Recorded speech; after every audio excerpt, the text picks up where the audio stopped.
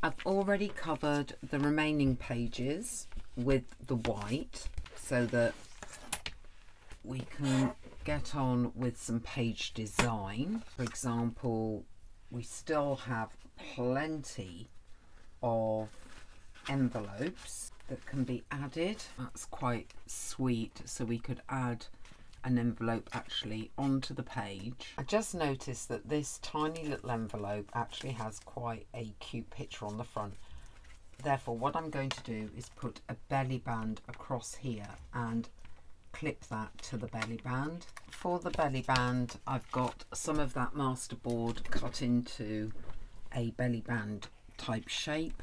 Just put a bit of glue down the two ends, put it on to the page, then that could tuck under. Found one of the tiny little envelopes and cut it down to make a small booklet added a rose to the front and that can now go in and sit behind the belly band and I may get a paper clip there.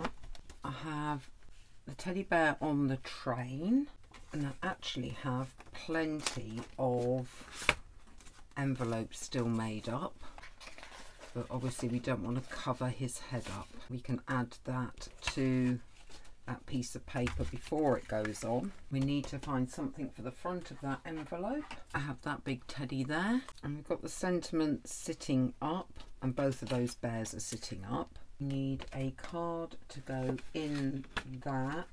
I think for our very last page we will do another stacking envelope. Last time we did it with three. Same idea, glue the flip onto the card before putting that onto the page same with the other one do want to put some kind of decoration down for the sentiment on that one we've done first crawl these two both need cards to go inside them that one I don't think needs decorating this one maybe could do with a little something on that front cover got the bear with the basket I've got the sentiment standing up left out of the ones that I cut up so I may put that over because then inside this envelope could put leftover sentiments. If they will fit in, I may need to cut them down. Somebody else can use those. You do have this slit here, which obviously is not going to be used. I think we could cover that up I don't want that to touch the sentiments though. Well, I do need to rub him down. I don't want him sticking to anything through there. Was there another envelope that had a slit or was that it? I think that might have been it for ones that are going to be seen. So this just needs a card now. To make this final card, I used one of the pieces of paper backed it with the pink cardstock that was left over, cornered it, edged it all the way round, and that is actually going to be our final card.